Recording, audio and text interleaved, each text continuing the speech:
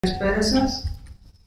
Ε, κύριε Πρόεδρε της Βουλής, κύριοι Υπουργοί, ε, ιδιαίτερα σύντροφε πάνω Σκουλέτη, κυρία Γενική Γραμματέα Ισότητας των Φίλων, αγαπητή Φωτεινή Κούβελα, κυρία Γενική Γραμματέα Διαφάνειας και Ανθρωπίνων Δικαιωμάτων, αγαπητή Μαρία Γιανακάκη, βουλευτές και βουλεύτριες, εκπρόσωποι της τοπικής αυτοδιοίκησης, φίλες και φίλοι, σύντροφες, και σύντροφοι. Εκ μέρους του Τμήματος Φεμινιστικής Πολιτικής του ΣΥΡΙΖΑ θα ήθελα να σας ευχαριστήσω για τη σημερινή παρουσία σας εδώ και να σας καλωσορίσω σε αυτή τη σημαντική θέλω να πιστεύω εκδήλωση η οποία διοργανώθηκε από το Τμήμα Φεμινιστικής Πολιτικής του ΣΥΡΙΖΑ επαφορμή την 25η Νοέμβρη.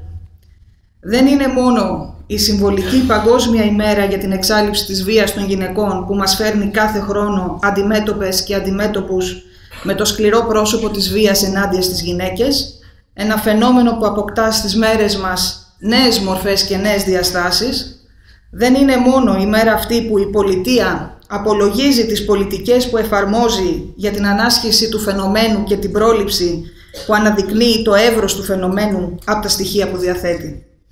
Δεν είναι μόνο η μέρα αυτή που συλλογικά γυναικείες συλλογικότητες και οργανώσεις, κόμματα, φορείς της πολιτείας και της αυτοδιοίκησης, επιστημονικές κοινότητες και συνδικάτα ορθώνουν τη δική τους φωνή διεκδίκησης για την εξάλληψη της βίας κατά των γυναικών.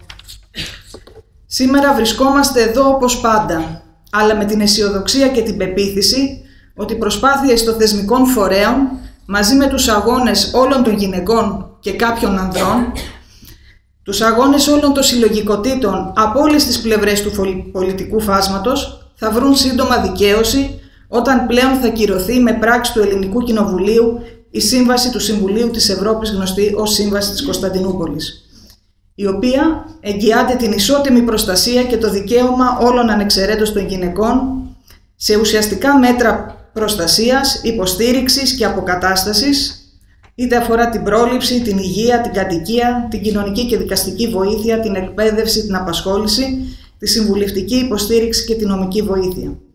Και αυτή η πρώτη νίκη θα είναι ολονών μας. Ως ΣΥΡΙΖΑ βρεθήκαμε μαζί πέρσι με 14 γυναικείες οργανώσεις. Τη Γυναικεία Ομάδα Αυτοάμυνας, το Δίκτυο για την Καταπολέμηση της Βίας κατά των Γυναικών, τη Διοτήμα, την ελληνική αντιπροσωπεία του Ευρωπαϊκού Λόμπι Γυναικών, το Ελληνικό Δίκτυο Γυναικών Ευρώπης, την Ένωση Γυναικών Κρήτης, την Ένωση Ελληνίδων Νομικών, την Ένωση Ελληνίδων, το Κέντρο Έρευνας και Δράσης για την Ειρήνη, την Παναθηναϊκή Πανελλαδική Οργάνωση Γυναικών, το Πολιτικό Σύνδεσμο ε, Γυναικών, τη Σοροπτιμιστική Ένωση Ελλάδος, το ΜΟΒ Φεμινιστική Συλλογικότητα Τυχέν. Βρεθήκαμε όλες μαζί σε κινητοποίηση διεκδίκηση για την κύρωση της Σύμβασης Κωνσταντινούπολης. Θεωρούμε πολύ σημαντικό τον ανοιχτό διάλογο ανάμεσα στα κόμματα, τις γυναικείες οργανώσεις, τις αιρετές εκπροσώπους σε Βουλή, Ευρωβουλή και Αυτοδιοίκηση. Θεωρούμε ουσιαστική τη συνεισφορά και εμπειρία της επιστημονικής κοινότητας και των θεσμικών της οργάνων. Πιο πολύ όμως θεωρούμε κέρια και καθοριστική τη γυναικεία συμμετοχή σε κινηματική δράση, διεκδίκηση και οργάνωση. Το πρώτο βήμα για την πρόληψη και καταπολέμηση του φαινομένου έγινε τα προηγούμενα χρόνια με την υπογραφή της Σύμβασης Κωνσταντινούπολης και τη δημιουργία του Πανελλαδικού Δικτύου Δομών, την 24ωρη δηλαδή γραμμή ΣΟΣ 15900, τα συμβουλευτικά κέντρα και τους ξενώνες φιλοξενίας. Το δεύτερο βήμα είναι πρώτο πυλόν με την κύρωση της σύμβασης με παράλληλο εφαρμοστικό νόμο. Με τον τρόπο αυτό αποκτούμε ένα θεσμικό εργαλείο για την πρόληψη και την αντιμετώπιση όλων των μορφών βίας κατά των γυναικών και για την προστασία και υποστήριξη των γυναικών και των κοριτσιών. Η χώρα αποκτά ένα νόμο που θα συμβάλλει ουσιαστικά και αποτελεσματικά στην πρόληψη της έμφυλης βίας στο δημόσιο και ιδιωτικό βίο, στην οικογένεια, στην κοινωνία, στην εργασία, στην πολιτική. Και για τα δύο αυτά θα ενημερωθούμε διεξοδικά από τις εισηγήσεις των δύο γενικών γραμματέων που θα ακολουθήσουν. Τώρα ανοίγεται μπροστά μας το πεδίο της εφαρμογής που θα αποτελεί το τρίτο βήμα. Για να τα καταφέρουμε χρειαζόμαστε την ενεργή συμμετοχή όλων και τον καλύτερο συντονισμό των δυνάμεών μας.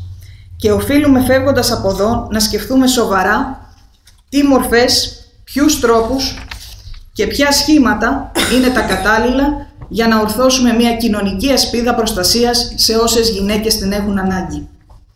Το δικαίωμα των γυναικών σε μια ζωή χωρίς βία είναι απόλυτο και αδιαπραγμάτευτο. Διότι η βία κατά των γυναικών είναι ίσως η πιο επέσχυτη παραβίαση των ανθρωπίνων δικαιωμάτων. Δεν κάνει διαχωρισμό μεταξύ συνόρων, πολιτισμών ή πλούτου. Όσο συνεχίζεται, δεν μπορούμε να ισχυριζόμαστε ότι κάνουμε ουσιαστική πρόοδο προς την ισότητα, την ανάπτυξη και την ειρήνη. Η βία κατά των γυναικών είναι η έκφραση της ιστορικά διαπιστωμένης ανισότητας στις σχέσεις ισχύως μεταξύ ανδρών και γυναικών που οδήγησε στην κυριαρχία των ανδρών επί των γυναικών και στις διακρίσεις σε βάρος των γυναικών με αποτέλεσμα την παρεμπόδιση της ανάπτυξής τους. Σημεία που αναλύθηκαν και υιοθετήθηκαν στην 4η Παγκόσμια Διάσκεψη Γυναικών το 1995 και εξακολουθούν και σήμερα να είναι επίκαιρα.